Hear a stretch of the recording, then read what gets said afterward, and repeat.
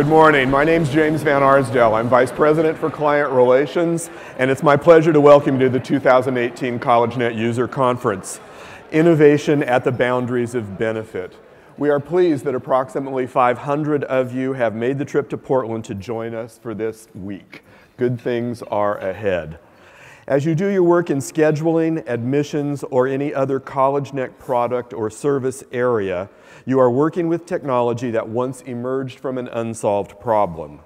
This is the territory where CollegeNet innovates. The bigger the problem at the outset, the better. The more market skepticism, the better. In scheduling, for example, nobody thought faculty would ever let computers make decisions about, quote, their space. But we knew that a new algorithm could save campuses millions in building and HVAC costs. In college admissions, people once worried how they would collect signatures or payments over the internet. But we knew that the emerging web had the potential to rid admissions of the paper applications, which, if laid end to end, could encircle the globe. Of course, none of these problems would have been solved without your involvement and feedback. You are the people who make automated scheduling, faculty and course evaluation, and admissions work. Many of you are also early adopters and creative thinkers. This is why we want you to understand how we approach innovation. Today, the latest unsolved problem CollegeNet has taken on, perhaps the biggest and most controversial, is how to turn the U.S. university system back into an engine for economic mobility. Here this morning to talk with us about this challenge is CollegeNet CEO Jim Wolfston. Thank you very much. Good morning. Pleasure to be here. And it's a privilege to speak to you because, as James said, all of these things that CollegeNet has done couldn't be done without you. No matter what CollegeNet innovates, if there's not users to make it work, it won't happen. We won't make a change in the world. So thank you so much for your ability. Many of you here are expert users of our products. Many of you want to be expert users. Many of you are cutting edge thinkers who are thinking ahead of the curve. And that's why it's very important for us to share with you, our special group, the thoughts that we have with respect to innovation. Now, have any of you seen this before? Any, any of you tuned into this, this station, WIIFM? Do you know about this? Anybody out there know about WIIFM? It's the most popular station in the world. It's been the most popular station for years. It stands for What is in it for me? Okay? now, this is actually a depiction not of a radio station, but this is a depiction of the vortex of innovation. The most important thing that our system encourages is an answer to the question, What's in it for me? What's in it for the investor? What's in it for the company? What's in it for the board of directors? That's usually the most compelling force in making a decision about where we're going to go with our money, with our ideas, with our technology. But we believe, CollegeNet believes, that's a mistake, that's a trap. Because quite often, the things that we invent, the, what's in it for me isn't clear.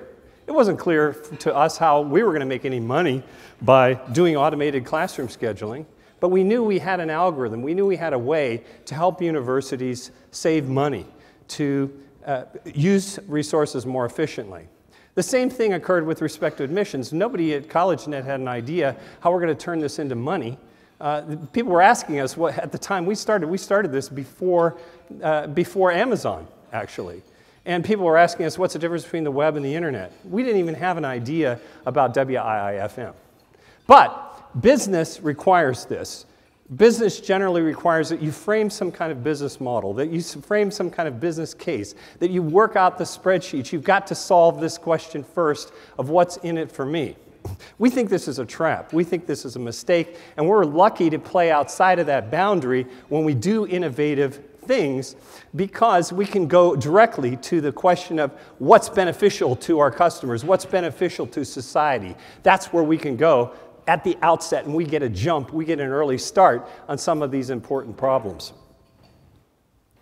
Now, a lot of this owes to Adam Smith. 240 years ago, Adam Smith wrote a very controversial statement that people have taken to mean that greed is good, right?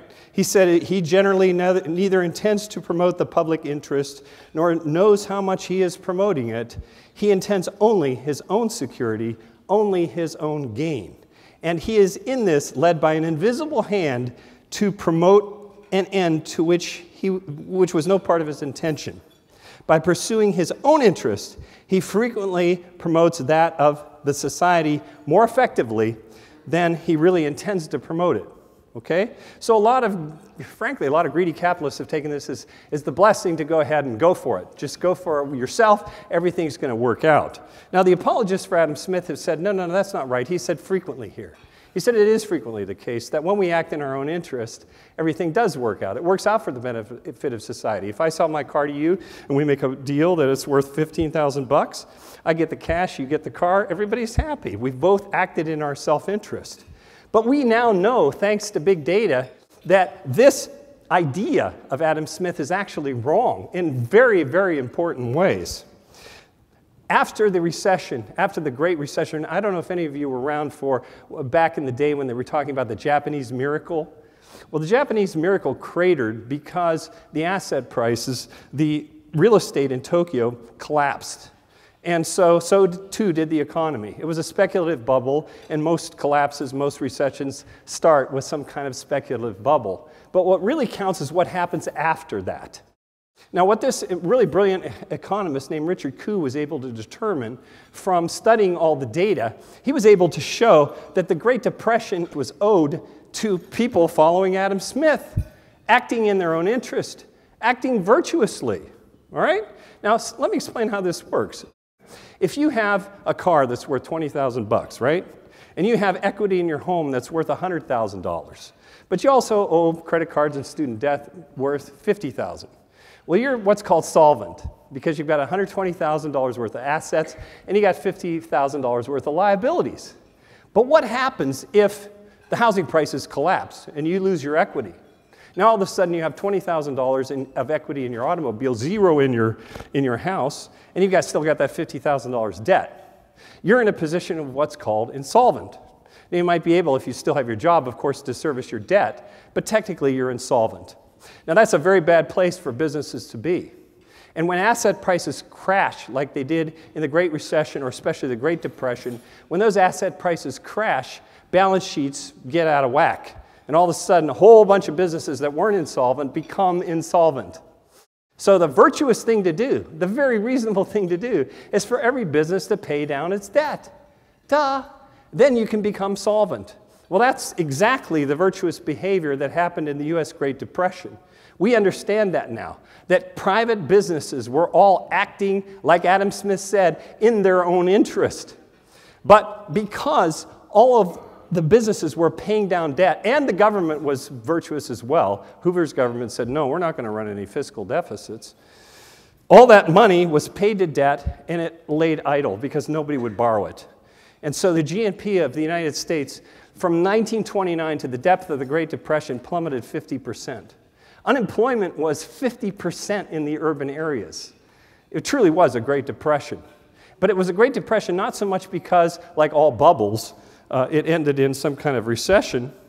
It was because of what happened afterwards. What happened afterwards was virtuous behavior. It's called the fallacy of composition. That if everybody does the right thing for themselves, it's going to end up a mess. It can end up a mess. Adam Smith is just wrong. It's proven now. He's wrong. But he's also wrong with respect to this idea of innovation. Definitely. CollegeNet has an advantage. CollegeNet has an advantage because we're able to work with you at the boundary of innovation. We're able to work and not worry about WIFM. What's in it for me? We're, we're able to go outside of that and start worrying about, right at the outset, what's, what's good for you, what's good for society.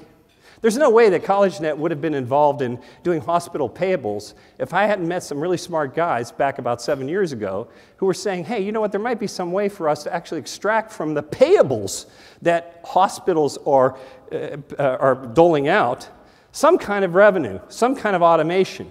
So we worked together to make that real. And today, one hospital, just one hospital client of InWorks, gets $250,000 per year because of the innovations that we created. And InWorks has become a very, very valuable subsidiary. Again, because CollegeNet's able to uh, invent outside the, the boundaries of benefit, in this, uh, not get sucked into this vortex. So we would actually rewrite Adam Smith If we knew what we knew today, we would rewrite Adam Smith to say the following The wise company generally does not know how much it is promoting its self interest. By focusing instead on solving the problems of society, the wise company frequently promotes the interest of itself far more effectively than if it had focused instead on its own returns. It is thus led by an invisible hand. If we had a chance to rewrite that, I think entrepreneurs in our world, in the Western world, would have been far more effective in solving the problems of society. Now, in, in, keeping with that, what we've taken on recently is a very, very exciting and important problem that all of us have a stake in. It's now called Hawking's problem. And this is the problem of global inequality, particularly in the United States inequality in wealth and income. It's exploding in the United States. But Hawking was the first intellectual, the first brilliant person uh, who's widely known to link the, whether or not we can solve this problem with the fate of the human species. So, this sounds like a worthy problem, doesn't it? If we could have a hand somehow in addressing this problem, not worry about the vortex of innovation, not worry about getting sucked into what's in it for me, but think about how we could actually address this problem as innovators. That's exactly what CollegeNet's doing. We have a tremendous opportunity at this time because whenever inequality redresses itself or corrects itself, it's typically through cataclysm or war, which is what I'm going to show you here. But we're in a special place in higher education. We have the thing that's necessary to distribute in order to create uh, um, equality of opportunity in the United States and in our world. What did Hawking understand when he gave this uh, connection, when he, when he told us that if we don't solve this problem of inequality, it could be the fate of the species? He said, first of all, it's an issue of fairness. It's innate. He understood human nature. It's innate that we want to be just, we want to be fair. It has, it has a beautiful para- paradoxical quality to it. We want to protect our children. We want to protect ourselves. We'll do so, however, fiercely. We'll go to war to, to redress injustices. That's the, that's the double edge of that beautiful human characteristic that all of us carry. Everybody here has a sense of what's just, what's fair for yourself, your children. Well, he also understood history. He also understood back in the 1500s that there was a scale of justice. And on the one side was absolute wealth inequality. It couldn't get any worse. Basically, you had the aristocrats of the church, and you had a whole bunch of peasants. But something countervailed that. The balance actually worked for hundreds of years because on the other side of this scale were the, were, were the pieties of the time. The belief that it really didn't matter much what happens now. What matters is what happens in our afterlife. And by the way, it's, it's harder for a rich man to go to heaven than it is for a camel to pass through the eye of a needle. So we've got some advantages, peasants. It's actually okay. Further, we can go into these churches. There wasn't any internet. You, could, you couldn't look at the Palace of Versailles, the little hunting lodge that Louis XIV had. But you could go into the church. You could go into the church just like the popes and the kings. So this gave a sense of equanimity and justice in that society, even though wealth and income were, terribly biased only to a small group of people. Well, that broke. That broke when the Catholic Church blew it. They introduced this concept of indulgences. They said, hey, look, if, if you're rich and you've taken your housekeeper as your mistress, you can restore yourself back in the eyes of God by paying some kind of emolument or fee to the church. Well, when the peasants found this out, they rebelled. 300,000 peasants, of 300,000 peasants wielding their pitchforks and their axes, 100,000 were slaughtered, and order was restored. But out of that in the 1500s, out of that German peasantry came Martin Luther. Martin Luther hammered his proclamations on the wall of the church. He basically did something heretical. He said, okay, uh, it's illegal by eternal damnation if you publish the Bible, if you publish the Bible in a language other than Latin. He went and did that. And the church, of course, under the competition of this new thread of Christianity, dismissed and, and uh, stopped this system of indulgences. So even though 100,000 people uh, died in that conflagration to reset that, that balance, um, the fact was change happened. So the peasants went back to the field, and everything was fine for a couple hundred more years, except then the French Revolutionary Wars occurred. And that, Stephen Hawking understood, took more lives. This time, 1.7 million people were killed because the aristocrats had the audacity to impose taxes on the poor and middle classes.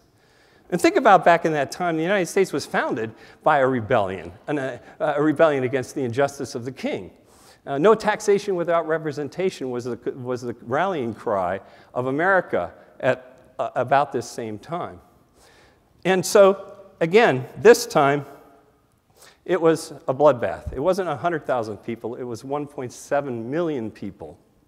Run the clock forward now to the next set of injustices, the next imbalance with respect to wealth and income. You come to the Belle Époque right before World War I. And all this uh, needed was some kind of trigger to light the tinder. The assassination of Archduke Ferdinand set off World War I. This time, not a million seven people killed, but 37 million people perished in World War I to reset that inequality. But the reset wasn't done very cleverly. It was, there were all kinds of reparations against Germany imposed. And as you can see in the slide, kids were making kites out of Deutschmarks, papering their walls, and so on. And in that was the fertile territory for the rise of uh, a, a radical, a radical Adolf Hitler, who said we're going to make Germany great again. to redress this injustice, this unfairness. And what happened, however, this time it wasn't 37 million people killed, it was over 100 million people died. And so Hawking's saying, look, the numbers keep going up, but now we have nuclear weapons. We've got to do something different. We've got to do something better. And that's the great opportunity that we have here. We have a great opportunity because, unlike those earlier eras, we don't control the land and we can't redistribute the land. We don't control the, the industrial infrastructure in, uh, prior to World War I. We can't dole that out. But we have the most important asset in the learning age. We have higher education. It's the most important thing that we control. If we can distribute this in a way that's reasonable, we can get a soft landing for economic inequality that's happening now in the United States. And I'll explain this. First of all, a lot of people don't know this because we're still under the mythology that America is the, the land of opportunity. The United States, among developed countries, is the least economically mobile among all developed nations. That was a science uh, study that was done by MIT economist David Autor, published in uh, 2014. The US levels of wealth and inequality are approaching the extremes of the Belle Époque before World War I. Right now, it's the case that three people, Jeff Bezos, Warren Buffett, and Bill Gates, the three of these gentlemen have more wealth than the bottom half of the US population. And it's actually diverging as we speak. How long is that going to happen? I mean, at what point does, do we allow the United States of America to turn into uh, a society of a few aristocrats and, and the rest of the peasants? Now, what's also interesting with respect to, to income is that this is a Gini coefficient. This isn't a suggestion of redistribution. Uh, this is simply the facts with respect to how income is distributed in our country. And 40%, it would take 40%, that's what the Gini coefficient is, it would take 40% of the income that's doled out in the United States. You'd have to redistribute that for everybody to be quote unquote equal. Now, we know, you're talking to a capitalist. We, we know that, that uh, Marx had it wrong. When Marx said, to, to each according to, to his needs, from each according to his ability. He had that wrong because he was missing the important ingredient of incentive. It's very important. One of the things that capitalist systems provide is an incentive. Think about it like this. There's a really wonderful book called The Triple Helix by Richard Lewontin, who's a Harvard biologist. The triple helix, the third strand, is the environment. It's not just the two DNA strands that you have, it's where you put your genetic potential. And he gave examples of shrubs. If you plant the seeds of a shrub, for example, at a thousand foot elevation, the shrub might flourish. But in fact, if you take that shrub and put it at 10,000 feet, it might not even germinate. Okay? So it, it matters where the environment is, how the, how the environment is set up. To, to, produce, to produce incentive in a society, it's very important that we have it set up as a meritocracy. I'm a great believer in that. And obviously, you're working for institutions that give out grades. Uh, and you give them out differential. Differential rewards are very, very important for societies to be successful. We know that. But economic divergence is a mistake. It's a big problem because it interferes with, with a sense that all of us have for human justice. Now, there's something very interesting. You saw on that chart, it wasn't just the United States that had the highest Gini coefficient among developed nations, it was also the uh, UK. And one of the commentators before the Davos uh, uh, uh, conference in Switzerland, the economic conference, was explaining that he said, Look, he says, I'm not saying what's right or wrong. I'm not saying what, what the best thing is to do, but the simple fact is, you're going to see, and we're telling our investors, you're going to see more rises rising through the world of, of, of populist movements. Uh, that's just a fact. And we can see that the Brexit vote in the UK was actually driven by the counties and boroughs outside of London uh, for which there really is no economic hope. The prosperity in Britain is primarily focused around the city of London and the environment and the, uh, the proximate environment. It's not the outlying boroughs, but the outlying boroughs are the ones that said this is enough. The, the, uh, the, elites, the elites have led us to, to this. There's no hope for my future. There's no, I can't afford uh, education. Uh, there's too much uh, drugs. So, of course, they voted against the idea of the uh, European Union. The same thing here in the United States. The studies show, well, uh, whether you like Donald Trump or not, the fact is his base is the Rust Belt. His base is, is people who not necessarily are in dire uh, financial straits, but they're surrounded by people who don't have opportunity. They don't have sufficient opportunity, and they want to change the system. Totally understandable. But here's what, uh, what uh, Trump is doing Trump is saying, okay, what we're going to do is we're going to blame it on the outsiders. We're going to blame it on the trading partners. We're going to blame it on China. We're going to blame it on the EU because they, we're running a deficit against them. It's not fair. Well, it might not be fair, but it's also the fact that the United States now is the first country in the developed world, and the first time in our history, where the retiring generation is actually better educated than the incoming generation. So, is it surprising that we might be missing something in terms of the global competition? The trade deficit last year was $566 billion. It's not a good thing because basically what that amounts to is an, a, a disgorging of $566 billion in wealth from the United States to other nations.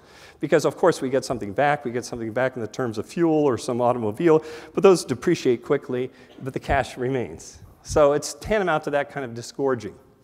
Not a good thing. but look at this what's quietly happening in the United States. First, look at the wealth distribution that exists here in this country. The top 10% of the wealth holders in this country own 75% of the nation's wealth. The bottom 90%, a supermajority, own 25%. Okay? But what's happening every year is that this gap between the top 10% and the bottom 90% is growing. right? Here's what's happening. Last year, that gap grew by $3.4 trillion. Now think about it. If you have $100 and I have $100 and you give me $2, thank you very much, I appreciate it. I now have $102 and you have 98. That is an increase in the gap between us of $4. That's accounted for by a transfer of $2 right? So if the gap grew, as it did last year in 2017, if it grew by $3.4 trillion, that's equivalent to a transfer of wealth from the bottom 90% of our population to the top 10% of our population of $1.7 trillion. Where do you read about this in the press? Okay? You don't read about this in the press because guess what? The, the press and the government are, are run by the top 10%. They're concerned, of course, about the trade deficit because their peers in, in Frankfurt, Germany, their peers in Shanghai are actually beating them. But they're the beneficiaries of this quiet wealth transfer that's happening every year in the United States of America. Now, people have a sense that something's going on something's wrong. There is this populist movement, but there's also a movement to believing in conspiracy theories. 52% of our population now believes in some conspiracy theory. That there was, there, there was reptiles that are running the government, that Bill Clinton's a clone. there's all kinds of bizarre ideas out there to try to explain what the heck's going on. That the Illuminati figured this all out back in the 1950s, and by virtue of computers, they're controlling all of us. We're all a bunch of automatons here at their service. Well, actually, we've discovered in the past 10 years, thanks to the, thanks to the wonderful work of Thomas Piketty and Emmanuel Saez at the University of California, Berkeley, that it's actually just arithmetic. Okay? There's a relationship that if it's satisfied, will cause divergence to occur in capitalism. It's called R is greater than G. The rate of return on capital, typically worldwide, is about 5%.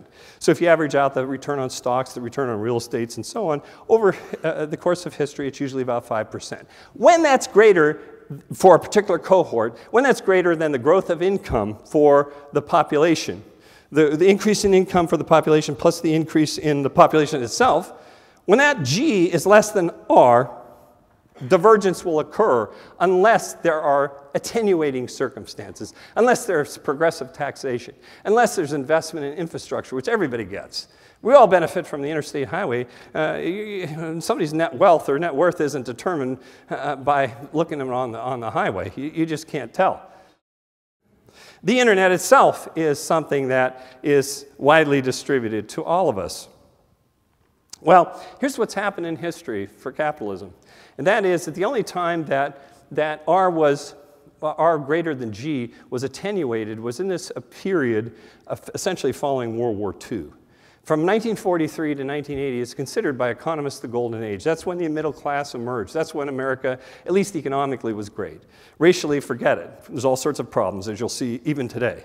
We all know that, but you're going to see how higher education, unfortunately, is, is reinforcing uh, systemic racism by virtue of its preoccupation with getting students in who are from the richer classes, who are able to pay the tuition. But what was happening here was, was different. It was a special time. We are about to create a new planet that we will call Sputnik. The entire neighborhood the entire city, in fact, the entire nation, it seemed, was standing outside, watching what the Russians had done. We have to strike at the root of the difficulty by educating the whole population of 170 million people.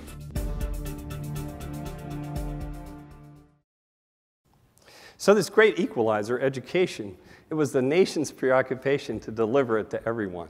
Not only the University of California, which was saying, hey, look, these GIs defeated Hitler. We owe them a world class education. The University of California system was, was founded on that idea.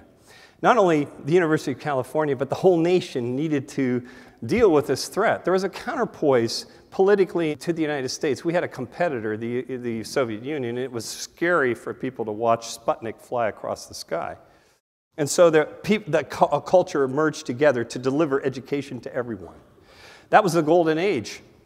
And then it changed because of the fact that the Soviet Union collapsed. No longer was there this threat. No longer was this throttle on pushing back on unions. People couldn't push back on unions during the Sputnik era. There's no way you could because there was danger that the, that the, that the union might flip the communism, might say, hey, look, these capitalists, this doesn't work. Uh, power for labor is not a, you had to be careful. It was the case that in progressive taxation, that during the Eisenhower era, the top marginal tax rate was 90%. Okay? now, of course, it's, I don't know, 28%, 45%. But the Soviet Union collapsed. They collapsed because Marx was wrong. Marx was wrong about incentive. He was wrong about the idea of a meritocracy, that third strand of the DNA that's necessary to create invention, to create ambition, to create achievement. And the fact is, the educational legacy of Ronald Reagan, Ronald Reagan, when he was governor of California, he, was, um, he didn't like those hippies that were protesting the Vietnam War. He de- de- excoriated them. Well, he became president, and the, uh, the whole game now was unbridled capitalism. Let's, let's ramp it up. Let's, let's give tax breaks to the millionaires. Let's, let's fire things up. And let's also cut education. Let's put education out where it belongs. Uh, it, it, it's, it's, a, it's a business, it's a, it's a big sector of the US economy. You guys go fend for yourself, you go figure it out. And so businesses became marketers. Students became customers. The mission was to maintain the solvency of the institution. And the most important thing was to prepare yourself for the battle, the battle, the competition for prestige. Staged by US News and World Report. US News and World Report came out during this era, and all of a sudden it became successful and essentially rescued the press empire of Mort Zuckerman. And now he's a billionaire because US News and World Report rates everything. There's a lot of controversy, of course, around these ratings, as you'll see. But what's happened in this process is that higher education has transformed into a counterweight for inequality because of the tuition bomb. Now you have to charge kids a whole bunch of tuition. People leave uh, your institution sometimes saddled with enormous debt. Uh, it's a 1.1 trillion ankle brace on the next generation. The admissions game, we're, we're involved in this. This is how we became aware of what is going on here. Uh, the standardized testing, we know from the research, is biased to the rich. We know that uh, SAT really stands for a student affluence test. Uh, it's just the way it is. It's the tightest correlation to SAT success. And why is that? Of course, because universities super score. And so a kid who takes the, the test 15 times, pick the best number. Well, what kid can afford to do that? What kid can afford to pay the college board uh, 15 times whatever the test fee is? Only the rich. So in the United States right now, we have a perilous circumstance. And we can fix it. We can make a difference because we have the most important asset in this era. This is no longer the agrarian era. This is no longer the industrial era. This is no longer even the knowledge age. All the knowledge is out there on the internet. This is the learning age. Everybody, almost all of us, will actually go through 12 different job changes on average in your career. The people who can learn are the ones who can climb that ladder faster. So, the product that we have in the learning age, things are changing so fast is the product that your institutions are providing. If we can move this, if we can break the stranglehold of US News and World Report, if we can move this asset to underserved people more than we're doing now by far, we can make a huge difference in terms of creating the first soft landing for economic and wealth inequality. Now, very interesting thing. People know, you know, your institution is virtuous. We're all good people. But in order to address this problem, a lot of people saying, hey, look, I'm virtuous, it's okay because I increased the number of Pell Grant recipients by 15% last year. No, they're not telling you, of course, in the press releases what small percentage, what small sliver that is of the total admitted population. But here's something else that's happening because of changes in the federal government, is that Pell Grants are being awarded more frequently to, to wealthier families. In fact, these are, the, these are what's called mathematically lower bounds. College has determined this from IPEDS. We know categorically in 2017 that at least, on average, 22.9% of the Pell Grants that were issued by higher education four year institutions were to students whose families make more than $48,000. And that trend is continuing to go up. Now, think about this the Pell Grant is, system is very virtuous. If if uh, we start a grant system here and we say, look, anybody here making less than $48,000 a year, we'll call this the Jim grant. I'm going to give you $1,000, okay? And that'll actually level out to a certain degree. That'll be uh, a converging force on the relative incomes that we have uh, in this room. Great system, because it's actually going to start lifting the underserved, uh, the disadvantaged a little bit. That's the whole concept of the Pell Grant system. But what happens if I say, hey, you know what, this is working pretty good. I'm going to just give a thousand bucks to everybody. Wow, that's great, isn't it? No, it's actually completely rids the Pell system of its converging power. You see? So again, it's paradoxical that a virtue, seemingly, to give more Pell Grants to more people, regardless of income, is actually defeating the converging power of the Pell system. Now, another thing that's very interesting. How many people have read this book called The Blind Spot? Anybody here know about this book? It's really interesting if you actually read this, pick this book up. It has inside of it uh, something called the implicit association test. And it's actually really embarrassing when you take this. Because I think of myself as a virtuous person. I think of myself as, I don't have any racial tendencies. Come on, I love, love black people. I got lots of black friends, play golf with people. I'm cool. We're equal opportunity employers. There's no way Jim Wolfston's a racist. No way. Well, guess what? I have, like most, probably 99% of us, some racial tendencies that are implicit. And it's interesting because one of the persons who read this book is Malcolm Gladwell. He, he wrote The Tipping Point, famous author. He was on Oprah, and he was talking about taking this implicit association test, and he's biracial. And he said, My gosh, I didn't know I've got these implicit racial tendencies. It's really strange. But of course, we've all lived in a culture where white is associated with good.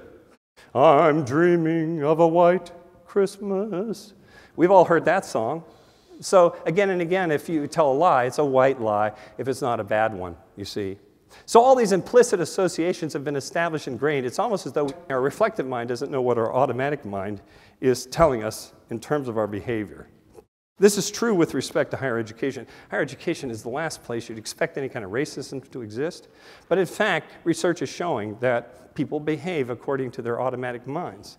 When admissions offices go out of state to recruit students, do they go to the inner city schools? Do they go recruit uh, uh, students who, who have uh, potential and capability? No, they go to the prep schools with whom they have relationships, which are, frankly, uh, most of the time lily white.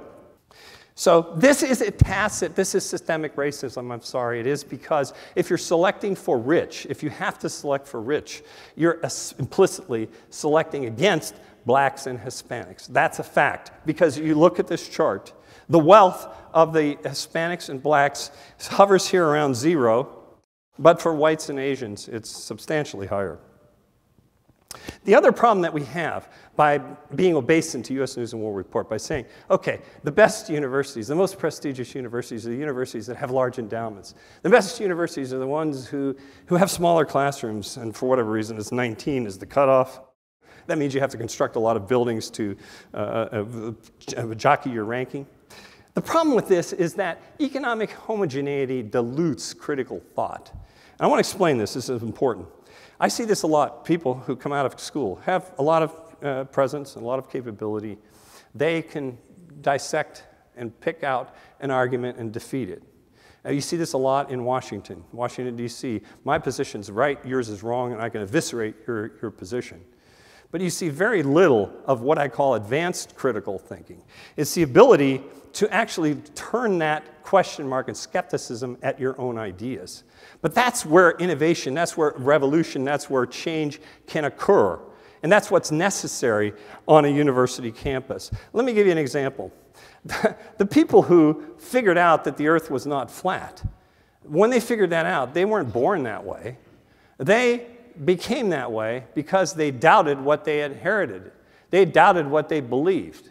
They started to see ships go over the horizon and thought, hmm, maybe this is not so, and speculated that the Earth, in fact, might be a sphere. Same thing for the uh, heliocentric universe. Copernicus uh, disagreed with the idea that the, it was geocentric. And you, you can prove, we can prove today, I mean, if we see the sun, it's a little cloudy out there now, but if we see the sun, we'll see it traveling across the sky, for heaven's sakes. Well, these people who figured out that, no, it's us moving, not the sun, they had to disagree with their own idea. Galileo was almost killed for disagreeing with his own idea. His telescopes uh, saw craters on the, on the moon, imperfections on the moon. That wasn't right because the idea then, the elements, there was no periodic table. There were uh, four elements. There was, there was earth, that was the most, and they were ordered. Earth was the most denigrated, uh, water on top of that, air above that, and fire because it leapt to the heavens. So the hierarchy was that whatever's in the center of the earth was essentially hell and damnation, but you go out to the firmament and you see seventh heaven through the little poles in the sky. Okay? So Galileo almost died because he looked through his telescope and saw that there were imperfections, and they said, Your telescope is wrong. All right? So here's what we need to do. Here's what we need to do. Whether CollegeNet makes any money at this, who the heck knows? Who cares? There's so much at stake here. We need to change the way we think about prestige. We need to do what Galileo did. We need to change our conception that the best university is not necessarily the university that picks rich students, who has the highest SAT score, who fills out the most admissions applications. Prestige because we're in danger of actually, we're academic institutions, we're in danger of actually reverting this beautiful word prestige to its roots. Its roots are illusion and trick. Okay? Think about a card trick as a prestidigitation, right? It's your fingers and it's prestidigitation. Digitation, presta. It's a trick, it's an illusion. It's an illusion when you say that an institution is better because it has a huge endowment. It's an illusion when you say an institution is better because it admits students with higher SAT scores. It's an illusion to say an institution is better because it turns away more students. It calls a whole bunch of admissions applications and says, hey, my selectivity is 5%. That's an illusion. Prestige should go to the institutions that solve Hawking's problem, that address Hawking's problem. So I encourage you, as the innovators, as the people who are closest to CollegeNet, who think with us, who are cutting edge people who want to do the best for the world and for society, for your universities, to look at our offering called the Social Mobility Index. Fortunately, we see lift, we see universities doing this conversation and reflection. And we see more and more universities paying attention to how effectively they enroll students from underserved populations, graduate them into good paying jobs. Thank you for your attention.